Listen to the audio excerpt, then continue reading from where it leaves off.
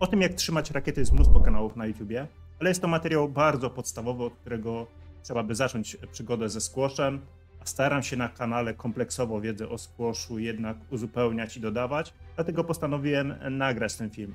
Natomiast, żeby to nie był kolejny film o tym, jak wygląda uchwyt V, tylko e, technicznie postaram się też dodać jakiś komentarz mówiący o tym, czemu to ma służyć, bo wychodzę z takiego założenia, że zrozumienie czegoś jest, e, daje dużo większą wiedzę, dużo większe korzyści niż tylko pokazanie, wyuczenie się mechanicznie, jak coś się robi. Kiedy rozumiemy, po, coś, coś, po co daną rzecz się robi w taki, a nie inny sposób, łatwiej nam później to zaadoptować do tego, jak e, sami to będziemy w przyszłości wykorzystywać i też łatwiej nam czerpać więcej korzyści z tej wiedzy. Dlatego po tym przydługim wstępie przechodzimy do dość krótkiego chyba materiału o tym, jak trzymać rakietę.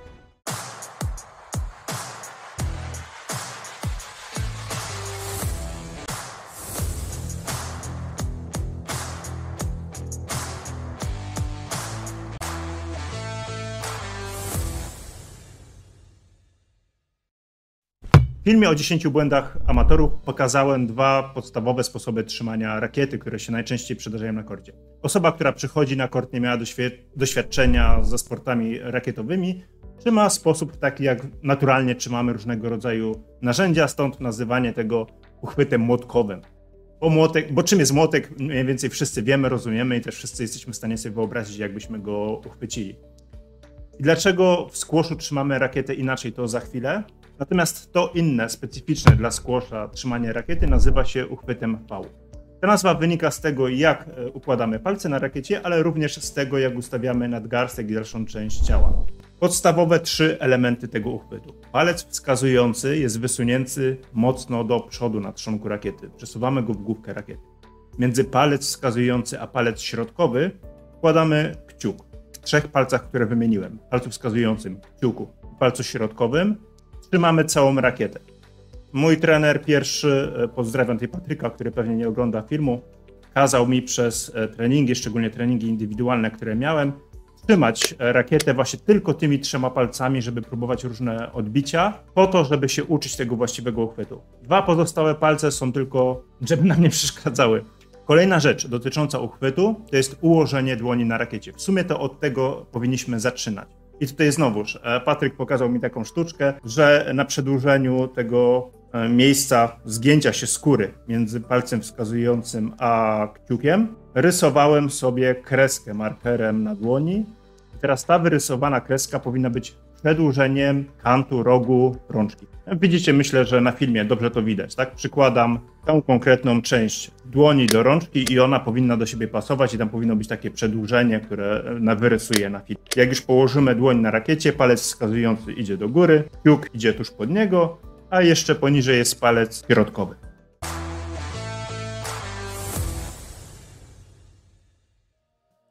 W ten sposób trzymając rakietę mamy pełną kontrolę nad uderzeniem, nad tym jak prowadzimy główkę rakiety przy swingu. Więc e, pierwsza rzecz, takie mamy, a nie inne trzymanie po to, żeby później móc e, pracować z właściwym swingiem. Czyli z, e, po polsku byśmy powiedzieli zamachem. Swing to jest pojęcie szersze niż zamach, bo nie chodzi tylko o zamachnięcie, ale to też się wlicza uderzenie i prowadzenie później ręki rakiety po samym uderzeniu w piłkę. Nasz uchwyt jest pochodną właściwego zamachu. Zamach właściwy potrzebny jest nam po to, żeby właściwie zagrać piłkę, właściwie znaczy dość mocno i umieć nią kierować. Do tego potrzebujemy wygiętego nadgarstka. Przy wygiętym nadgarstku odpowiednio nam się ustawiają palce na rakiecie Dlatego właściwe jest nauczyć się od samego początku właściwego trzymania rakiety, bo będzie ono nam towarzyszyło przez całą naszą edukację związaną ze squashem i jak się dobrze nauczymy, to też przez całą naszą grę squasha będzie to dla nas ważne i będzie miało znaczenie. Teraz y, rzeczy, które wynikają z takiego, a nie innego ułożenia tych palców na rakiecie. Palec wskazujący, ten, który jest u góry, jak się nauczycie nim grać, jak zaczniecie świadomie kontrolować jego położenie, zobaczycie, jak dużą on daje nam możliwość kontroli prowadzenia rakiety i uderzenia w piłkę. Jeżeli mamy dobre ułożenie tego palca i czujemy ten palec na rakiecie, czujemy miejsce, gdzie on się spotyka z rakietą, bardzo dużo informacji jesteśmy w stanie odczytać. Poprzez ten palec czytamy naszą rakietę jesteśmy w stanie ją dość precyzyjnie kierować. Jeżeli e, tego jeszcze nie znacie, nie rozumiecie, zaczynacie przygodę ze squashem, nie umiecie jeszcze poprawnie trzymać rakiety, to na razie skupcie się na tym, żeby nauczyć się poprawnie trzymać rakietę.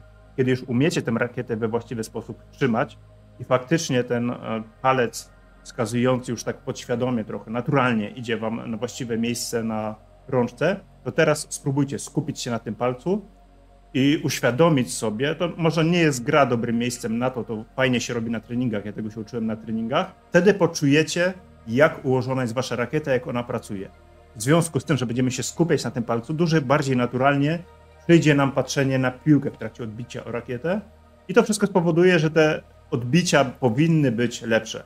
Na pewno będą bardziej świadome, dzięki temu z czasem staną się lepsze, jeżeli nie od razu staną się lepsze. Ten palec z przodu to czytanie rakiety, ale również kontrola nad tym, jak trzymamy rakietę, bo na tym palcu będziemy czuli, czy rakieta nam się przesunęła, czy nie. Jak e, długo już będziemy pracować w ten sposób z rakietą, to w pewnym momencie z tego palca trochę podświadomie będziemy odczytywać, czy nasza rakieta jest ułożona poprawnie względem przedniej ściany. Poprawne ułożenie rakiety w momencie odbicia oczywiście względem przedniej ściany polega na tym, że powierzchnia główki rakiety i powierzchnia przedniej ściany to są powierzchnie równoległe. Ciuk jest e, tym palcem, w tym trzymaniu, który trzyma nam rakietę. I wstawia się tej energii odrywającej nam rakietę od ręki. I to nie te dwa palce. Często jest tak, że e, zawodnicy właśnie tymi dwoma ostatnimi palcami trzymają rakietę. To powoduje, że ona nieznacznie nam się odrywa, odrywa od powierzchni dłoni, bo nie ma tego właściwego trzymania w kciuku. To kciuk powinien powodować, że rakieta, rączka rakiety przylega idealnie do naszej dłoni i powierzchnia dłoni jest powierzchnią naszej główki rakiety, wtedy też nam łatwiej kontrolować to, w którym kierunku, gdzie jest skierowana rakieta, jak prowadzimy główkę rakiety i jak nią sterować. No i trzeci palec, palec środkowy, jest on palcem e, stabilizującym, stabilizuje nam tą e, rakietę. Jeżeli chodzi o trzymanie rakiety, to istotne również jest to, w którym miejscu rakiety ją trzymamy. Są takie sytuacje na korcie, że nie mamy zbyt dużo miejsca na zamachnięcie się rakietą, na wykonanie pełnego swingu tego zamachu, bo jesteśmy gdzieś wciśnięci w kąt, e, bo piłka spada blisko ściany albo tylnej szyby i nie zawsze da się pełną rakietę tam wcisnąć. Wtedy może nam pomóc, powinno nam pomóc skrócenie długości rakiety. Robimy to w ten sposób, że przesuwamy dłoń w kierunku główki rakiety. Skracamy sobie uchwyt. Pomaga to przy tych zagraniach z tyłu, pomaga w trudnych sytuacjach, kiedy potrzebujemy dużej kontroli nad piłką i to też trzeba umieć zagrać, to też trzeba sobie ćwiczyć. Z kolei w sytuacji, kiedy mamy dużo miejsca, warto mieć e, rakietę trochę dłuższą, czyli tak naprawdę uchwyt przesuwamy od główki, bez mała na koniec rakiety, to wtedy mamy dłuższe ramię i tym samym więcej energii jesteśmy w stanie dzięki właściwemu zamachowi wygenerować. Czyli mamy efektywniejszy swing, że tak powiem. No i właśnie trzymanie w sposób V pozwala nam łatwiej przesuwać dłoń na, rakiet, na rakiecie. Robimy to dzięki tym trzem palcom, o których mówiłem, swobodniej, efektywniej. Nie jest to coś, co przychodzi samo, trzeba się nauczyć i później świadomie pracować nad długością rakiety na korcie, ale ten uchwyt, e, uchwyt typu V właśnie w tym pomaga. Pomaga nam tak e, dłoń przesuwać w jedną, w drugą stronę, po to, żeby dopasować nasz, nasz uchwyt do sytuacji na korcie i do miejsca na korcie, z którego zagrywamy.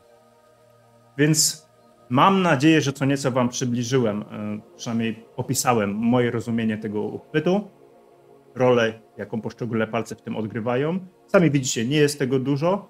Natomiast jak to zrozumiecie, jak trochę popracujecie nad tym, żeby świadomie, właściwie trzymać rakietę, polecam jeszcze raz, tak jak mówiłem, trzymanie rakiety w trzech palcach i testowanie różnych odbić. Jak będziecie trzema palcami potrafili mocno, silno zagrać piłkę, to już później, kiedy pozostałe dwa palce wprowadzicie do gry, położycie na rączce, e, będzie wam to przychodziło bardzo swobodnie. W tym e, trzymaniu rakiety ważne jest też to, żeby nie spinać zbyt mocno przedramienia, mięśni przedramienia. Tak naprawdę przedramię powinno być dość rozluźnione, tylko w chwili, kiedy uderzamy w piłkę, kiedy mamy ten moment przekazania energii z rakiety na piłkę, wtedy, kiedy największe siły pracują na naszą dłoń, tylko wtedy nasze mięśnie się spinają. Tak naprawdę powinny się spinać mięśnie e, trzech palców, które nam w tym momencie tą roczkę trzymają po to, żeby rakieta nam nie wypadła z ręki. Nie musimy spinać całej ręki.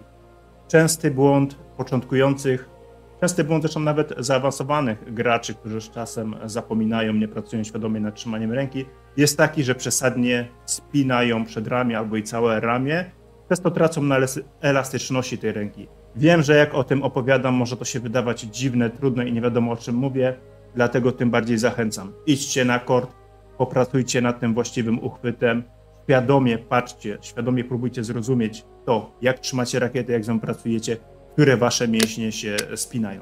Do tego oczywiście najlepszy jest partner, który jest z wami na korcie, jest, zna się na tym i potrafi was korygować, czyli wskazany byłby tu jakiś e, dobry trener, który będzie miał świadomość tego, co chcecie osiągnąć i, i co, na co zwrócić uwagę, które będę u was korygować. Jeżeli nie macie takiej możliwości, no to zawsze powtarzam, próbujcie nagrywać. Na filmie najczęściej więcej zobaczycie niż sami w czasie gry, bo w czasie gry, w czasie treningu jesteście skupieni na mnóstwie różnych rzeczy i nie zawsze wyłapiecie to, co jest dla was istotne, a później na filmie jest to łatwiej zrobić. Mam nadzieję, że film będzie przydatny. Dzięki za uwagę, trzymajcie się i powodzenia na kortach.